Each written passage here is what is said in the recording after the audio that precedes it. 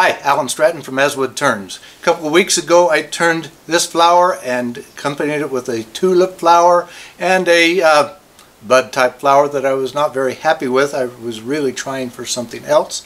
A couple of you reminded me of Stuart King and uh, Larry from the Tiny Trailer Workshop and others. Thank you, by the way, for inserting those comments because they, they really do help. So I decided to correct that this week and show you the full version. Uh, so this is uh, a fuzzy flower, which more of the uh, of the style that I was after. Uh, this one is a simple change in using the skew to using it flat instead of vertical.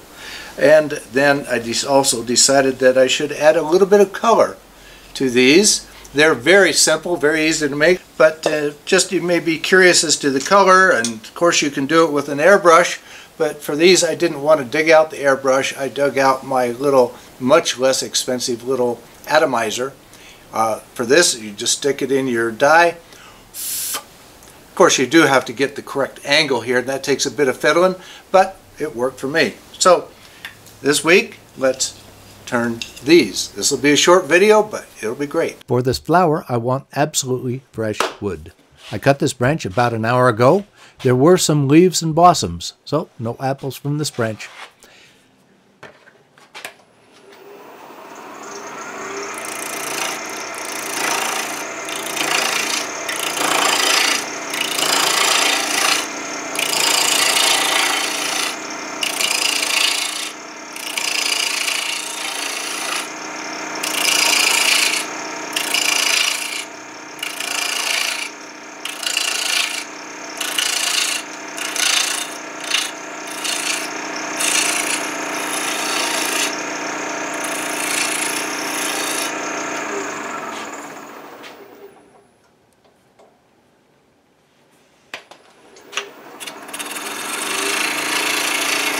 The branch is held in my long nose jaws and removing some of the bark with a peeling cut with my skew.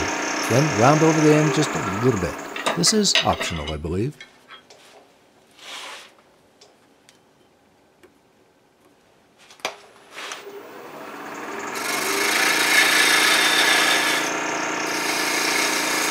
Now for the flower fuzz. I'm cutting in from the end with the point of my skew with a very thin slice. Sorry, I did not measure it. I peel it back to near the bark with one steady cut.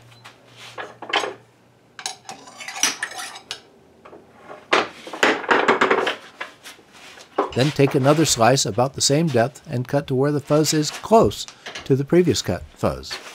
Then repeat until I reach the center.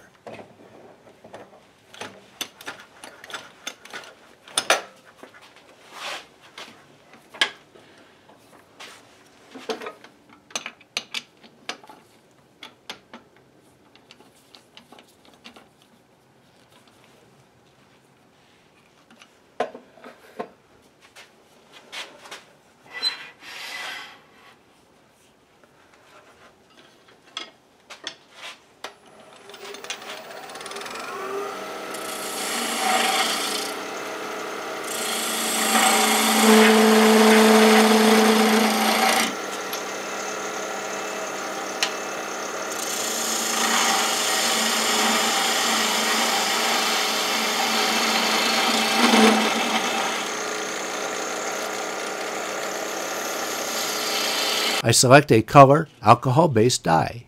Using a mouth atomizer and with the lathe running at turning speed, I can blow dye a couple of times for my color. This does not saturate the color, and I like it. The alcohol evaporates immediately. I follow this immediately with a similar burst of rattle can lacquer.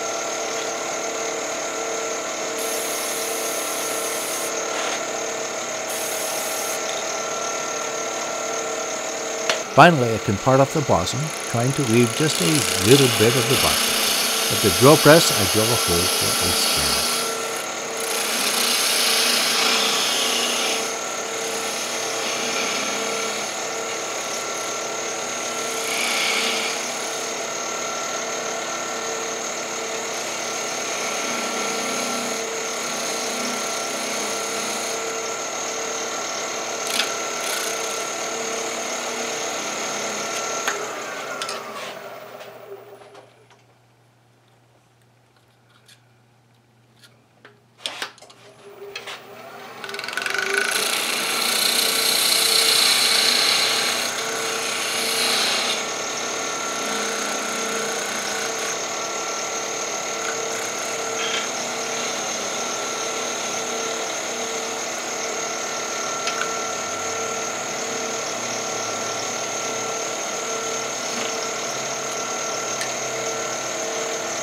So now that you can make a full bouquet of flowers for Mother's Day or for spring celebration or whatever you please on that, go ahead and turn them. They're quick and easy. For these, I used very fresh apple wood, and uh, I think that's uh, essential for this. Uh, so let's go ahead and turn them. But remember to always wear your full face shield. That's safety, essential safety while you're working at the lathe.